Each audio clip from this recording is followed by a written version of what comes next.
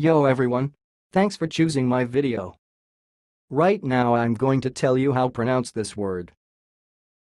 The word you see is sounds like see see Right, I will repeat one more time. See see That's all, thanks for watching. If you liked this video, please subscribe to my channel. If you want to share your opinion, please leave comment for this video. Thanks and goodbye.